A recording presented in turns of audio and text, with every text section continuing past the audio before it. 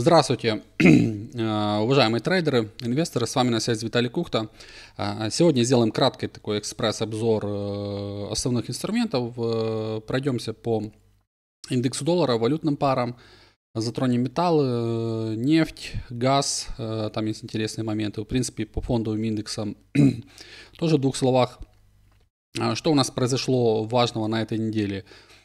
А, ФРС понизил ставку на полпроцента. В принципе, как большинство ожидали это, но все-таки была вероятность 0,25.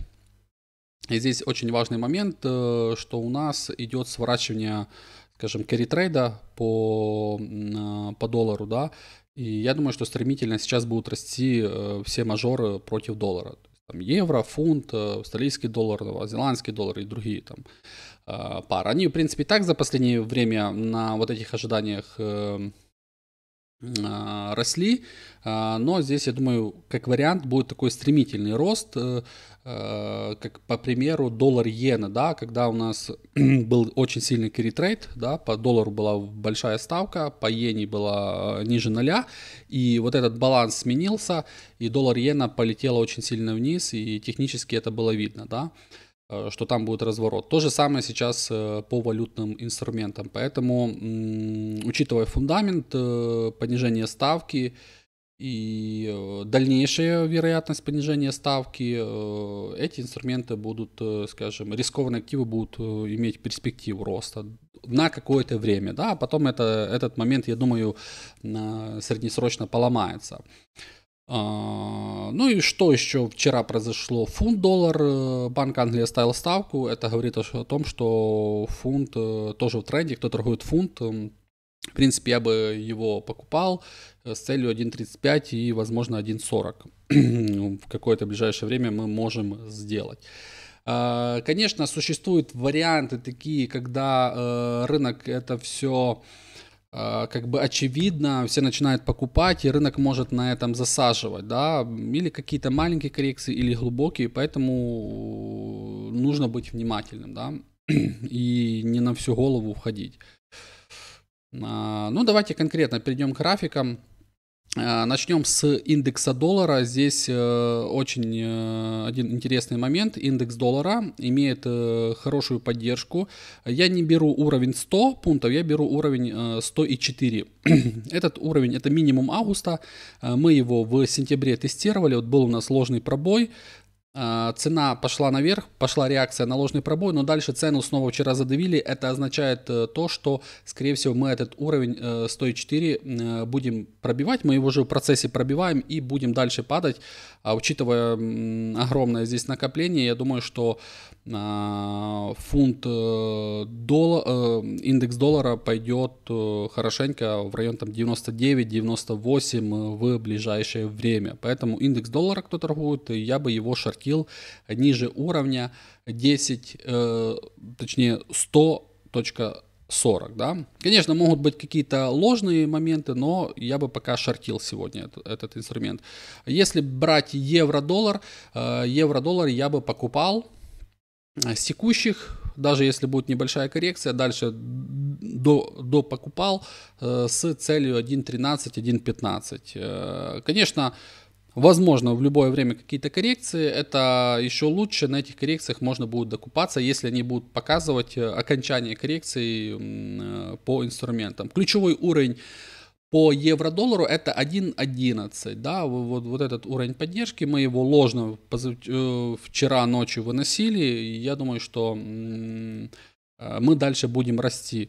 Фунт-доллар, в двух словах, мы сейчас, если мы берем закрепились вчера выше э, максимума августа, что-то наподобие индекса доллара, и я бы сейчас э, влетал в этот поезд, стоп понятен ниже уровня 32.60, э, есть куда расти. Возможно, сегодня пятница будет такой феерический рост. Конечно, соблюдаем риски, потому что все возможно. По другим э, валютным парам, я думаю, картинка плюс-минус одинаковая, их затрагивать не будем. Э, давайте пройдемся еще по другим инструментам. Натуральный газ, мне кажется, здесь картинка красивая. Кто торгует данный инструмент?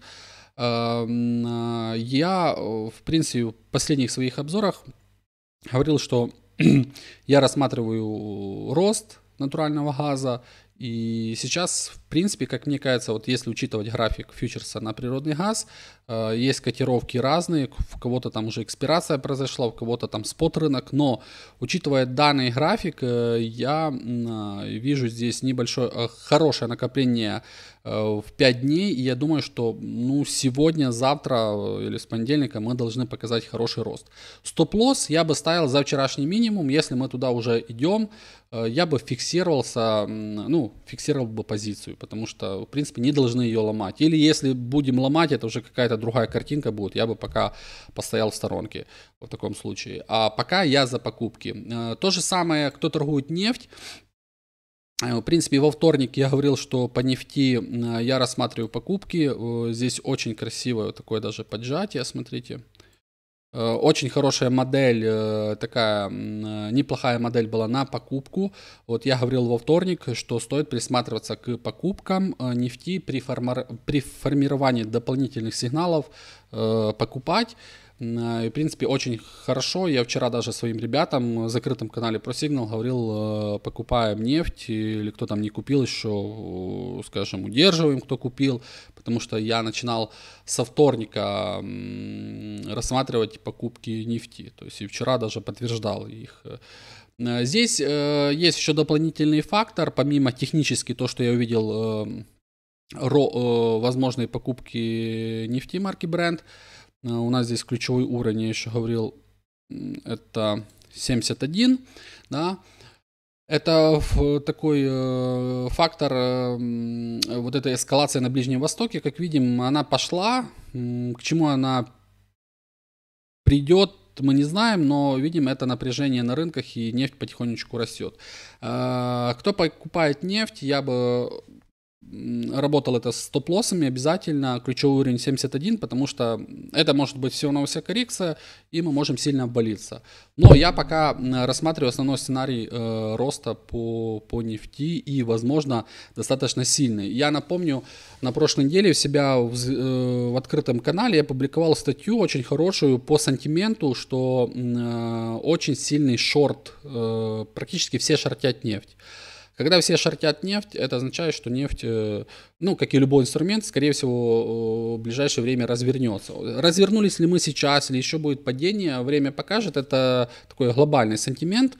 Но я сейчас ищу покупки, если мы будем дальше падать, э, обновлять минимум там 68, я снова буду там при наличии сигнала покупать э, нефть и советовать в обзорах. Э, дальше, что касается других инструментов, по золоту, в принципе, здесь дальше только покупки. Э, в принципе, мы практически, мы практически сегодня 2600 достигли, ну даже еще так максимум был у нас еще позавчера 2600, сегодня мы снова 2600 э, тестируем, я думаю, что мы этот уровень будем пробивать и улетать вверх. То есть пока золото находится выше 2560, я за покупки. То есть вот вчерашний день это ориентир, минимум вчерашнего дня. Все, что выше этого минимума, э, я целюсь выше. И у нас следующая цель это 2700. Посмотрим, сможем ли мы его достичь на следующей неделе. Плюс, учитывая вот эта эскалация конфликта, возможно, она, скажем, подогреет э, скажем, этот момент, что инвестора будут более агрессивно покупать. Сильный тренд. Понятно, что в любой момент может начаться коррекция. Коррекция по золоту бывают такие быстрые. Вот, допустим, вот идет рост, потом бах-бах-бах и вниз. Поэтому это тоже учитывать. Э, ориентир я сказал, вот 2560, вот это, скажем, такой баланс. Выше покупки, ниже уже под вопросом. Так, металлы затронули. Э, по фондовым индексам, в принципе, давайте посмотрим.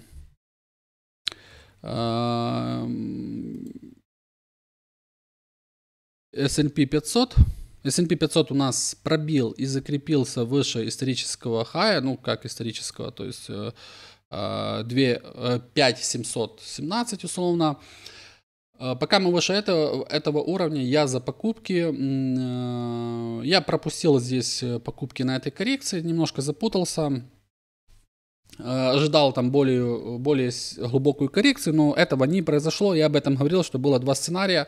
Первый, который я оставил основной, что у нас коррекция позатянется. Второй, что существует вариант, что вот эта коррекция закончится плюс-минус. Она, в принципе, э, здесь показывала уже окончание вот 11 сентября на прошлой неделе, но, скажем, я этот момент упустил. И сейчас, в принципе, я бы с коррекцией дальше рассматривал покупки ориентир понятен. Э, если будут ложные пробои, то да, нужно будет уже думать по-другому.